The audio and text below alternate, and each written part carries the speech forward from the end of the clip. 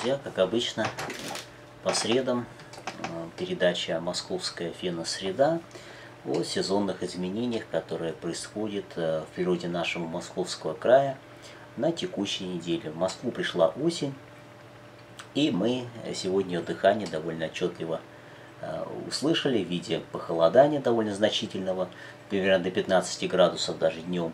Ну и, соответственно, конечно же, постоянно принимающегося дождя, который уже носит такой холодный осенний характер. иногда он достаточно э, сильный. Уже налило довольно много воды. Мы сегодня это видели, в частности, э, в парке Березовая роща. Вот, ну и вообще в окрестностях метрополии Ижевска. Ну и, в общем, такой характер погоды уже, в общем-то, достаточно нормальный для этого времени года. Вот, и, в общем-то, э, действительно осень потихоньку вступает э, в свои права. Но, естественно, что наверняка еще будут у нас и периоды потепления, эта погода не навсегда. Э, в общем, даже уже и в конце этой недели ожидается потепление, ослабление дождей и более солнечная погода. Но уже все равно, конечно же, осень напоминает о себе. Она напоминает о себе также и сокращением светового дня, и э, сейчас долгота дня составляет уже около 13 часов. И э, надо сказать, что день световой уменьшился э, на 3 часа уже по сравнению с самым длинным периодом дня в конце июня. Да, то есть, вот, грубо говоря, за лето да, и самое начало осени уже 3 часа светового времени мы лишились. Ну и восход солнца сейчас восходит примерно в 6 часов утра, а заходит около 7 часов вечера. Э, луна у нас сейчас э, убывает э, после полнолуния, которое было 2 сентября, и продолжит она, ну пока еще луна довольно-таки большая, но она на этой неделе все больше продолжит убывать, вплоть до 17 сентября, когда ее видно не будет, будет новолуние.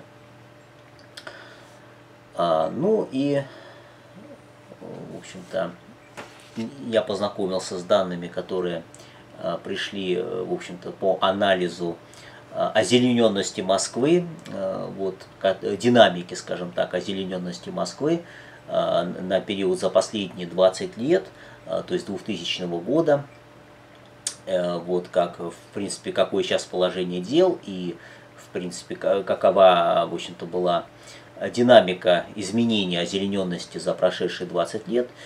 И в результате э, ситуация выглядит так, что, в общем, катастрофы никакой нет, то есть тут не надо сгущать краски.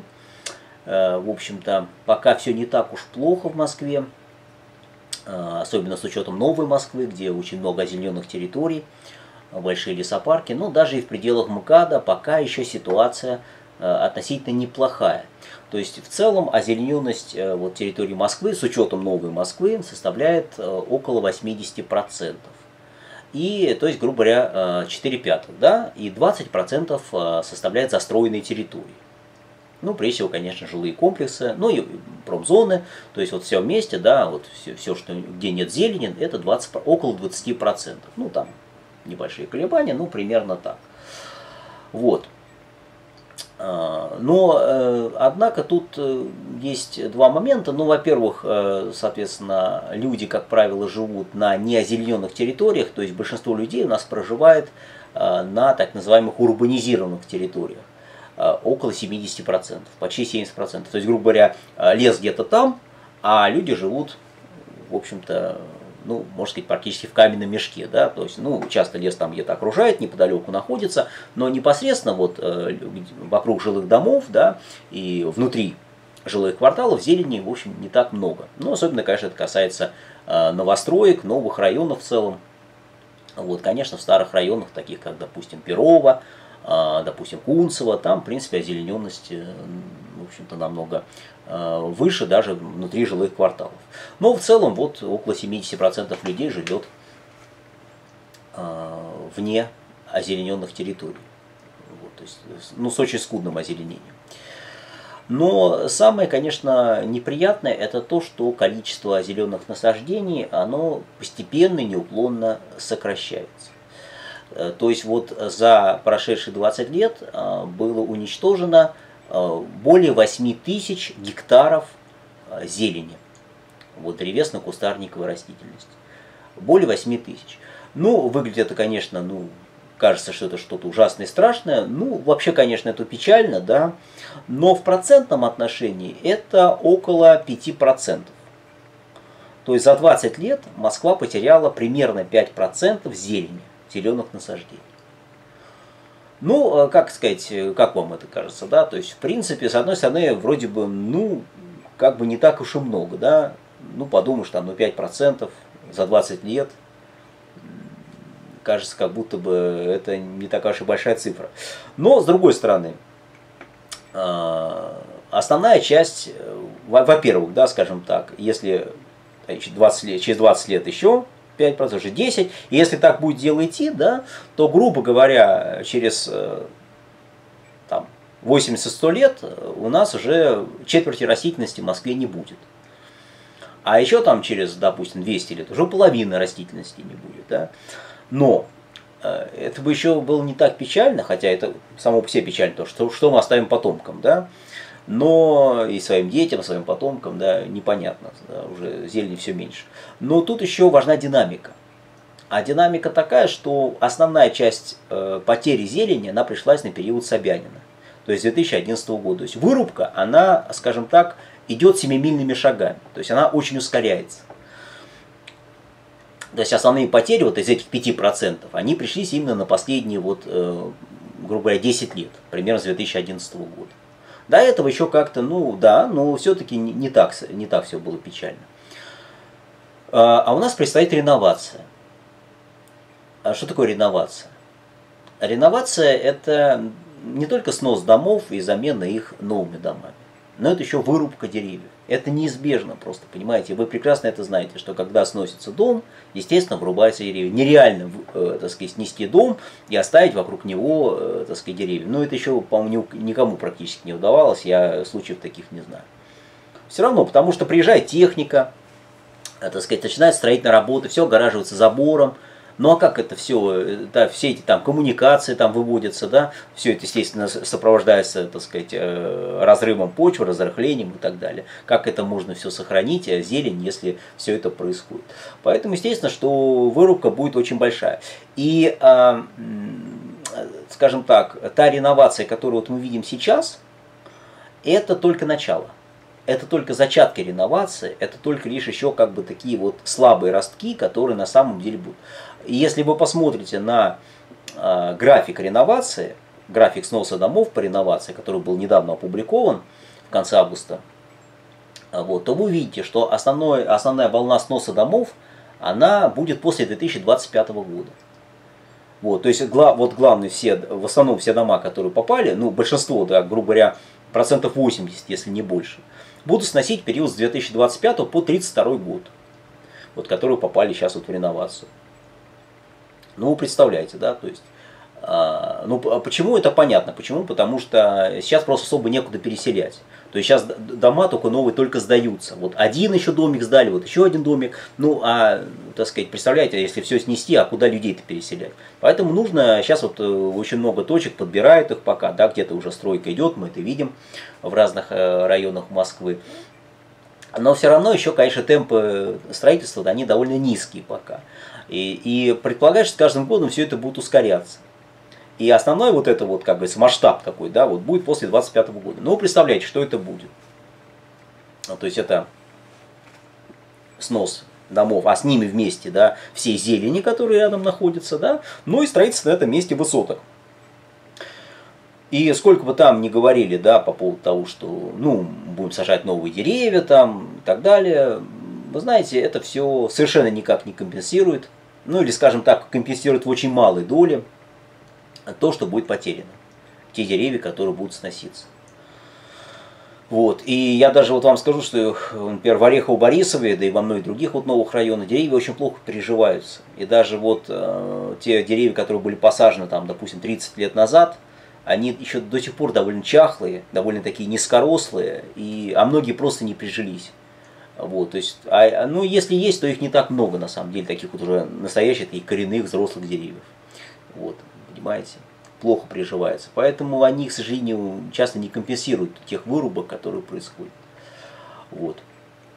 И по самым таким оптимистическим прогнозам, да, из-за вот э, реновации да, за, за следующие 10 лет а, Москва лишится примерно 10% зеленых насаждений. Ну, я не говорю там про, про уплотнение населения, в некоторых районах оно составит там до 60%, да, это, это само собой. Ну, там транспортные проблемы, мы сейчас этого не касаемся. Это само собой, это все будет. Ну, если, как говорится, эта программа реализуется, ну, пока она реализовывается, соответственно, реализуется, это все будет. Но, так сказать, и, э, естественно, что э, зелень, конечно, будет, э, ну, снесено будет примерно 100 тысяч деревьев вырублено. Вырублено будет деревьев около 100 тысяч. Вот, это около 10% вот всего, даже больше 10% вот всего зеленого фонда, который есть э, в Москве. Э, ну, в основном это, конечно, будет в пределах МКАДа, к сожалению, опять же, да, где и так зелени не так уж много. Ну, и в Новой Москве там тоже сейчас деревья вырубаются, строительство идет довольно интенсивно тоже. Вот. Просто там территории намного больше, скажем так, там еще осваивать и осваивать, еще и там на ближайшие не то, что там 10, а там и на 30, на 40 лет хватит, наверное, да. Хотя, конечно, не знаю, при нынешних темпах э, может и не хватить. Вот. Но в пределах именно так называемой старой Москвы, да, то есть это уже, который считается в пределах кольцевой дороги, тоже вырубки будут довольно существенными. То есть вот тут, э, скажем так, если бы еще вот это, э, скажем так,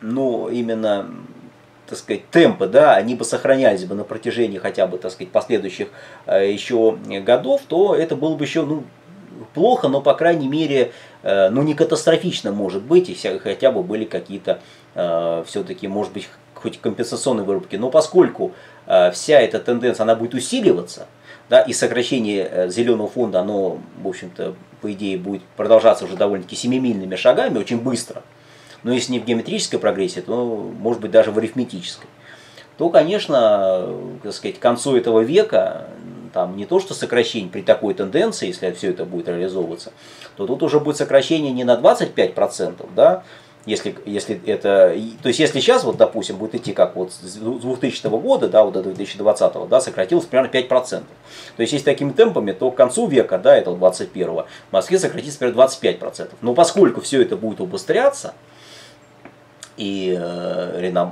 в основном за счет реновации, да, застройки, ну, промзоны, ладно, это как раз не так сильно влияет, а вот то, что там оттяпывать немножко у Лосиного острова, да, уже в том числе и под коммерческую застройку, вот это, конечно, влияет. Вот, так вот, за счет этого, то, соответственно, это может уже прийти к тому, что к концу этого века не то, что 25%, а может уже зелени процентов на 40 уменьшится, если даже не на больше, не на 50, допустим. Но вот это уже серьезно. Даже 25% это очень много, а ну, там, половина это уже вообще что-то ужасное. Ну, представляете, что будет. И Москва, она постепенно будет э, все больше и больше превращаться в город довольно э, неблагоприятный для жизни. Вот, очень тяжелый, со сверхуплотненным населением – и уже сейчас больше плотности в Гонконге, да, ну а представляете, что больше, и дышать будет совсем практически нечем. То есть вот эта, конечно, реновация, она помимо там многих восторгов, которые испытывают люди, как видим, она имеет очень много оборотных э, сторон негативных, и в том числе, конечно, одна из таких очень существенных э, сторон, это, конечно же, э, вырубка зелени, это лишение зелени, сокращение зеленого фонда, который мы имеем в настоящий момент, который и так уже не хватает, как говорится, зелени на каждый человек, у нас дефицит, а уж тем более, если будет реноваться. Так что, к сожалению, если вот эти вот планы, они не остановятся, то ничего хорошего нас не ждет. Москвичей ничего хорошего не ждет, ни город, ни, то есть это, к сожалению, будет очень сложно жить в таком городе, где будет очень немного зелени. Будет борьба буквально за каждый вот э, клочок, зеленый уголок и так далее, за каждый склей. Вот. Ну, будем только лишь надеяться, остается только надеяться, что все-таки ну, власти возьмутся за голову и поймут, что в пределах МКАДа застраивать вообще практически ничего нельзя. Застройки быть вообще не должно в Москве. Просто не должно быть. Потому что, ну, за исключением, как говорится, какой-то минимальный, да, и то, э, допустим, грубо говоря, сносишь пятиэтажку, строишь тоже пятиэтажку, ну или там чуть побольше. Но, конечно, вот эти небоскребы, вот это все. Потому что, а Москва, она просто не рассчитана была на, в общем-то, такое количество народу, такое количество домов. И вот даже вот то, что мы сейчас имеем, да, вот эти вот, допустим, зеленые зоны, вот этот зеленый фонд, это фактически советское наследие. А, вот, ну еще в каком-то смысле дореволюционное, но во многом советское. Ну, потому что до революции там Москва была фактически в пределах МК, этой Садового кольца, ну, чуть-чуть побольше. Вот. А потом уже, конечно, да, стали уже, так сказать, прибавляться очень быстрыми темпами территория. Вот. То есть во многом советское наследие, когда было понимание, что, так сказать, людям надо не просто где-то жить, да, лишь бы только вот дать коробку, квартиру и живи, все, вот как можно больше таких вот дать, сказать, калитушек, да, э, комнаток и давай. Вот. А было понимание, что нет, а нужно еще, чтобы была э, комфортная среда для проживания. То есть были промзоны, то есть зона, где люди работают, да, отдельные. И, соответственно, было, конечно, зеленые пространства, были парки, были скверы, были просто зеленые зоны вокруг улиц. Вот вы когда идете, допустим, э, по Рославскому району по улицам, Кибальчича, допустим, э, Павла Корчагина, там, Константинова, вот, и так далее, да, то вы видите, что эти улицы, они все очень хорошо зелененные, то есть очень часто вот они представляют собой такие бульвары или просто хотя бы такие вот хорошие пространства, где перед домами много зелени, скверов довольно много, да, даже в пределах вот улиц. И мы это часто видим, вот когда гуляем по Москве и в рамках передачи «Зеленые уголки Москвы», да и просто даже вот и по реновации, и просто прогулки совершаем по Москве. Мы это прекрасно и хорошо видим. Вот. Ну а сейчас просто, вот, грубо говоря, максимально застроить какой-то участок, все, вот, все, напихать туда как можно больше домов, а чем люди дышать будут и как они вообще жить будут в такой среде, ну, как бы это не важно. Главное получить в карман как можно больше, все освоить и нормально. Все. А дальше это уже ваша проблема. Кажется. Вот. Ну, еще раз говорю, будем надеяться, что все-таки как-то каким-то чудесным образом Потому что по-другому я как-то не очень даже понимаю. Все-таки все это как-то изменится, эта политика, да, и все-таки власти повернутся лицом к народу и поймут, что, так сказать, иначе просто, ну, как-то очень сложно будет жить в таком городе, который они э, проектируют. Ну и в заключение, э, так сказать, обратиться к народному календарю, как обычно, и посмотрим э, некоторые события по народному календарю на этой неделе. 7 сентября это был понедельник, и это было время сильного листопада. Э, вот. А сейчас, кстати, листья очень мало падают, между прочим, и деревья, как правило, все еще зеленые, только-только э, кое-где местами они жел... начали желтеть. Но если сейчас погода ухудшилась, то, скорее всего, сейчас уже процесс пожелтения, опадания, он э, быстро ускорится. Вот. Ну и люди шли в лес по грибы. Ну, сейчас как-то грибы не так популярны, ну, а тогда вот раньше очень много было грибников. А, во вторник день Натальи Овсяницы и начинали косить овес, э, ну и, соответственно, после того, как покосили, садились за стол и, соответственно, угощались вот овсяным толокном, э, вот, замешанным на молоке или на воде с ягодами, а также овсяными блинами. Ну, короче, ели всякие блюда из овса. Вот. Сегодня у нас 9 сентября, среда. И в это время раньше выходили э, собирать рябину. Поспевала рябина. Сейчас она как-то пища не употребляется обычно. Есть только в лечебных целях. Но в основном, так сказать, птицам. Ну, птицы-то, они продолжают ее клевать, а люди как-то ее, как правило, не собирают. А, вот. Ну и, э, в принципе, если большой урожай рябины, то это предвестник суровых морозов. То есть как бы природа говорит о том, что птицам надо как можно больше наедаться, э, запасаться, так сказать, вот, э, пищи, да, чтобы пережить потом э, суровую морозную зиму. А завтра, 10 сентября, будет день Анны Пророчицы и память еще преподобного святого Савы Крыпецкого. И идет последняя жатва хлебов, с полей вывозили снопы, которые складывали в скирды. Э, вот. Ну и отсюда название праздника Скирники, то есть Анна и Сава Скирники. Вот, то есть уже заканчиваются всякие полевые работы потихонечку. Ну, 11 сентября день усекновения главы святого Иоанна Притечи, день постный. Э, Причем довольно строго раньше постились, практически ничего не ели в этот день. Ну, разве что там хлеб с водой. А, вот. И также наступает поворот природе в, это, в этот день, заканчивается лето вместе с первыми заморозками. Вот, и уже, соответственно, все больше и больше наступает осень. Ну, в общем-то, мы это вполне ощутили по сегодняшнему дню особенно. Вот, ну и отчасти вчера тоже. 12 сентября будет день Александра Невского отмечаться память. День называли сытником, потому что в этот день накрывали богатые сытные столы, где все, в общем-то, ломилось. Вот. Ну, по тем временам, опять же, не по современным. Ну, собирали гостей, устраивали пиры в честь э, Александра Невского. В том числе готовили сытную кашу. Там, когда сорвелатов, мармелатов, в общем-то, не было. А тогда вот в основном такую вкусную кашу готовили, ячменную, например, ну или овсяную, на молоке. Вот. И подавали свежий хлеб и зерна нового урожая.